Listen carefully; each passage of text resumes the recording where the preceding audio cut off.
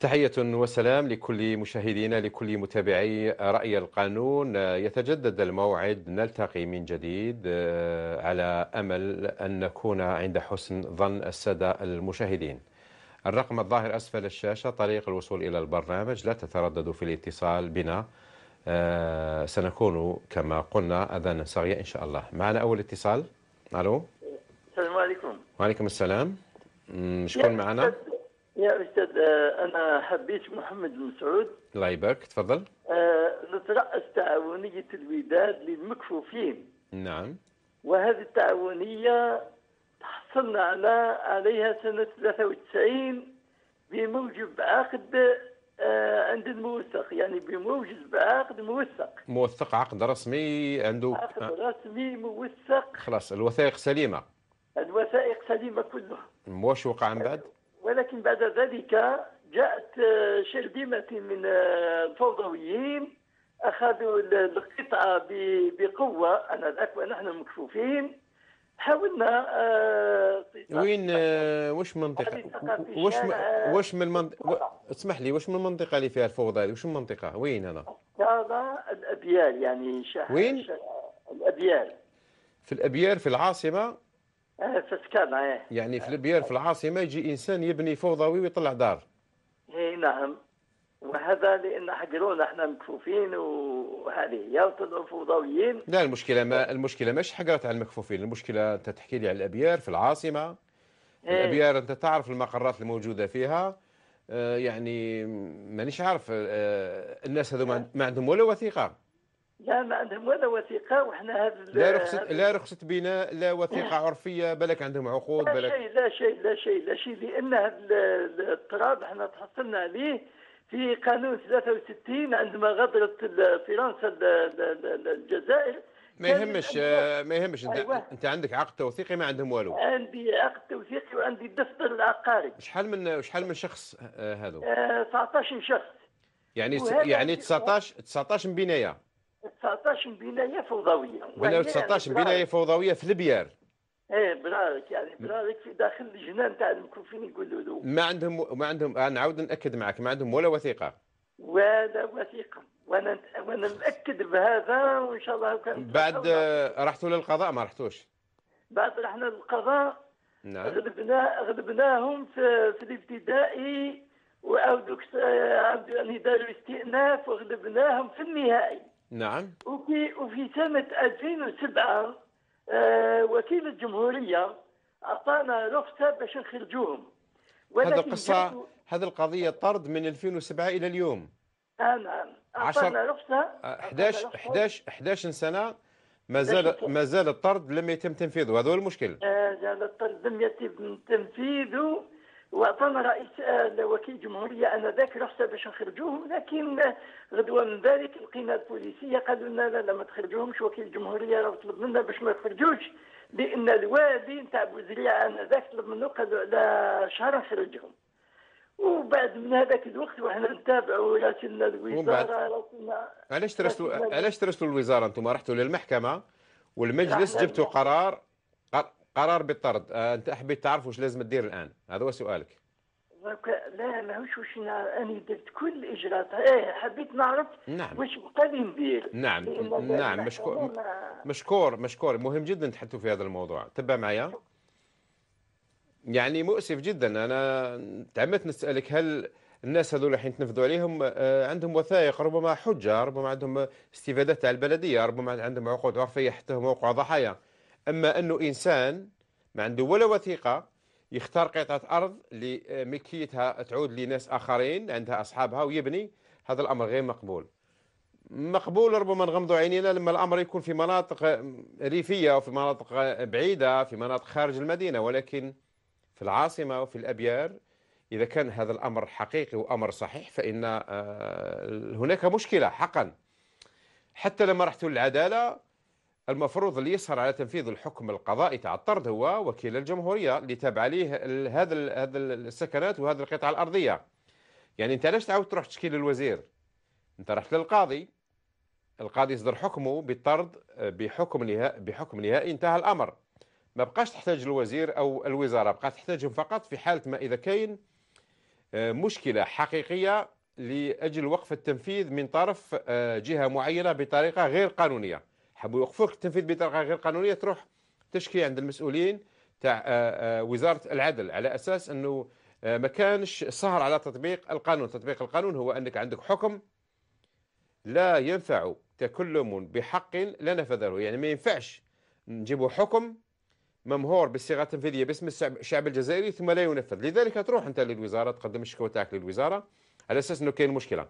ولكن 11 سنة بدون تنفيذ يعني ما نقدرش نعلق أكثر من هذا. يعني إذا كانت فيه عراقيل حقيقية نعم. ولكن أنا أظن أن السهر على تنفيذ الأحكام القضائية لازم يكون بنفس المقام آه، السهر على آه، تنفيذ قرارات قضائية أخرى يعني على نفس الدرجة. يعني حتى لو كان العدد تاع العائلات هذو عدد كبير ولكن بنين فوق رزق ما رزقهم أبدا. حتى ولو كانت البنايات كثيرة هذا مشكل تاعهم. إذا بنى فوق أرض ماهيش أرضه بأمواله ولكن أيضا هذا المشكل تاعه لأنه ولا واحد قال له روح بني ولا واحد أعطاه تغطية ولا أعطاه وثيقة ولا أعطاه ضمانات. لذلك وجب الامتثال لإحكام القضاء. تبقى على اتصال بالمحضر القضائي ليقوم على التنفيذ. المحضر القضائي يدخل في علاقة آه، مهنية مع الوكيل الجمهورية. يطلب التسخيرة في كل محكمة كيفاش تخدم بجدول معين. آه، ثم إذا فيه عراقيل يعرض الأمر على المحكمة إذا ما فيش عراقيل نظل مطلوب من وكيل الجمهورية أنه يشوف هذا الملف ويسهر على التنفيذ بتسخير القوى العمومية. يعني هذا الحكم أصدره قاضي والقاضي يكتب ولا يتكلم. آه، مهم جدا مناقشة هذا الموضوع ومتابعته أيضا. معنا اتصال؟ ألو السلام عليكم. وعليكم السلام. آه، أستاذي أنا حبيت آه، نقدم نعم. لك القضية تاعي. مرحبا بك المتمثلة في. بون أنا متزوجة منذ خمس سنوات وعندي بنت. نعم. لكن للأسف مرضت بمرض الوسواس القهري. أنت مرضتي بمرض الوسواس القهري. ألزمني البقاء في بيت أهلي. ألزمك البقاء في بيت أهلك. آه، يعني مشيت من بيتي الزوجية منذ أربع سنوات وأنا في بيت أهلي. لا أعيش مع زوجي. وأنت راكي تمهدي لقصة معينة. نعم. قلت راكي تمهدي لقصة معينة. أه والله بعدين دوك أنا في مشكل. منفصلة من دون طلاق. وش وقع من بعد؟ أنا درك حابة ندير طلاق بالتراضي.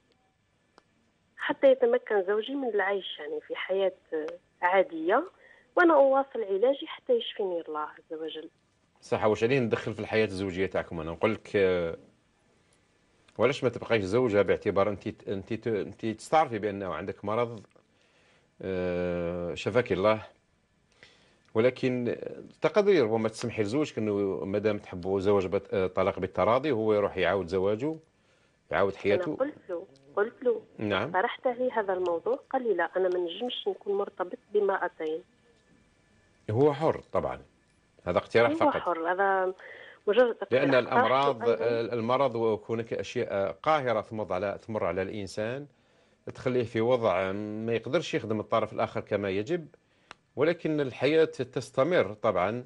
هي الحياة آه، في كل الحالات آه، هي نظام يعني ما دام كان اتفاق بيناتكم على الطلاق بالتراضي نظل ما راحش يرفض هو. والله رفض. رفض الطلاق بالتراضي وش يحوس هذا؟ يحوس على الطلاق تعسفي ما أنا درك هذا ما فهمتوش. أنا سؤالي هو وش حكم القانون في في امرأة عايشة يعني للشرع الشرع يعني في امرأة عايشة كما هكا؟ ولكن سيدتي القصة تاعك هذه شحال عندها العام؟ أربع سنوات. الشرع يقول لك أربع سنوات واش كنتي ديري أربع سنوات أنت؟ نعالج في نفسي. تعالجي في نفسك ولكن آه ما شفيتش لا ربي يشفيك قلت لك ولكن هو ثاني عنده الحق إنه يواصل حياته. يعني ما أنت في بيت أهلك تعالجي من مرض الوسواس القهري أو مرض آخر وهذا الزوج مهمل كيفاش يدير؟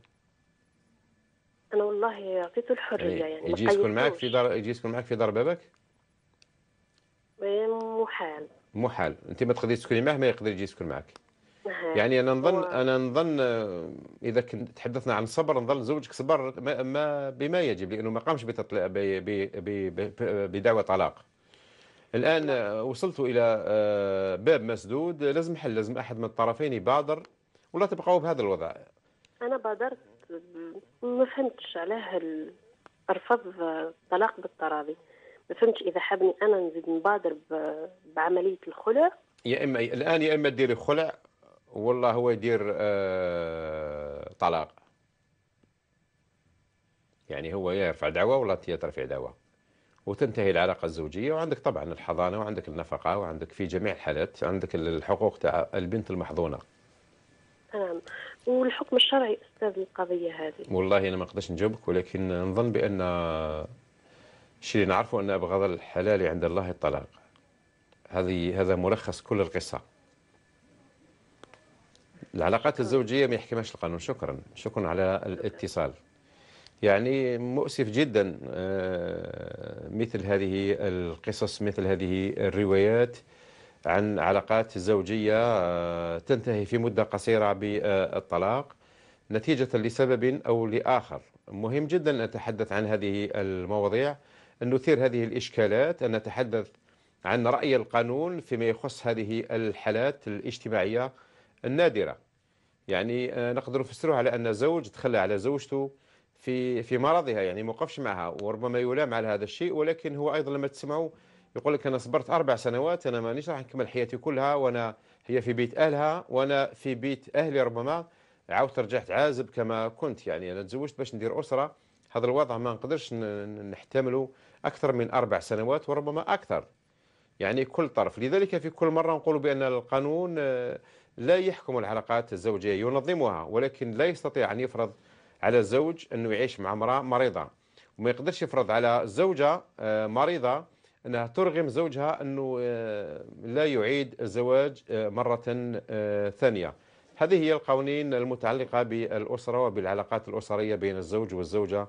بين الأبناء والأب تاعهم علاقات متشعبة. لذلك مستحيل أن القوانين توصل إلى ضبط هذه العلاقات لأنها أحيانا تقف عاجزة. ما تقدرش تقدم حلول لكثير من الحالات اللي نعتبروها حالات نادرة لأنها لا تتكرر في كل آه، المجتمعات وربما لا تتكرر في كل آه، البيئات اللي آه، ممكن تطرح كثير من الإشكاليات. يعني قصة مؤسفة آه، أحسن شيء آه، ربما أنك آه، واعية والله مدركة بأنك مقصرة في حق زوجك وأنك تعترفي وهذا قليل وإن نلقاه عند كثير من السيدات اللي ما يعترفوش أبدا آه، نقول بعض ربما السيدات اللي ما يعترفوش بمثل هذا النوع من المشاكل بين الزوجين أنت تعترفين بأنك مريضة تعترفين بأنه من غير المعقول ومن غير الممكن أنك تواصلي حياتك مع زوجك لأنه ربما مضرور من هذه الوضعية. آه، عرضت عليه حلول آه، رفض كل هذه الحلول. الآن أحد الطرفين